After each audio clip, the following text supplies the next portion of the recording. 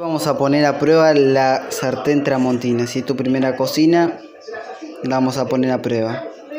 Vamos a pasar la prueba de fuego que va a ser cocinar un huevo sin aceite.